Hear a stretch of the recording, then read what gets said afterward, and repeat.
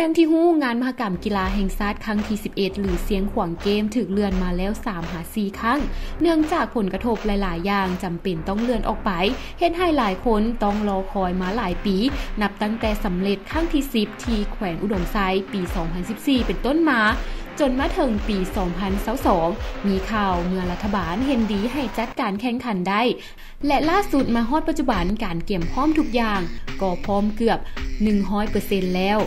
พบกันระหว่างวันที่ 13 หา21ธันวา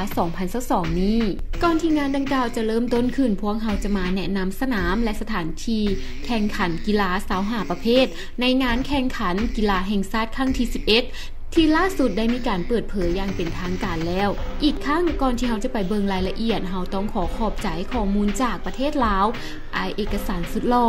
ส่วนฮูปต้องขอขอบใจไอใหญ่หลากหลายความสามารถบ่ขอเปิดเผยเนาะฮู้ๆกันอยู่ สนามกีฬาของเจ้าภาพที่ห้องหับให้แก่งานกีฬาแห่งชาติครั้งที่ 11 เสียงขวางเกมกำหนดแข่งขันอยู่5จุดหลักๆดังนี้เนาะทุกคน 1. สนามธงไหหิน สนามกีฬาใหญ่เป็นสนาม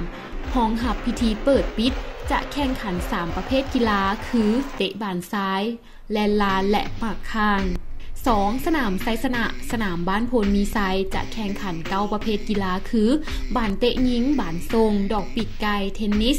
บานบ้วง หมากแล่เทคอนโด ปิงปอง และยิงธนู 3. สนามวิทยาลัยคูคังไข จะแข่งขัน 6 ประเภทกีฬาคือกะต้อกะต้อซินลอน มวยปั้ม มวยวูชู ปั้นจักศิลัด และคาราเตโด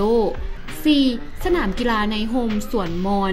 บ้านโงยจะแข่งขัน 3 ประเภทกีฬาคือ เปตั้งมวยสากล และมวยลาว 5. สนามยิงปืนโรงเรียนนายซิปปกโสแขวง แข่ง1ประเภทกีฬาคือ ยิงปืน กีฬายิงปืนบางรายการ ส่วนหลายรายการแข่งอยู่สนามยิงปืน5เมษายนนครหลวงเวียงจันทน์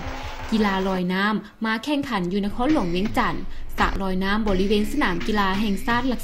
16 ส่วนกีฬากอบจะแข่งขันอยู่สนามกอบภูกูดทองคำและสนามแข่งขันกีฬารถถีบ แมนกำหนดตามเส้นทางภายใน บ้านปั้งปาง เมืองภูกูดถึงเทศบาลโพนสวรรค์ นี่ก็แมนข้อมูลคร่าวๆ ที่พวกเฮานำมาแนะนำต่อก็ยังบ่มีรายละเอียดปันใดไว้ๆนี้ถ้าทีมงานของพวกเฮาได้สปอนเซอร์ จะขึ้นไปสัมผัสบรรยากาศ และนำข้อมูลรายละเอียดกว่านี้มาฟังมาตอนอีกครั้งหนึ่ง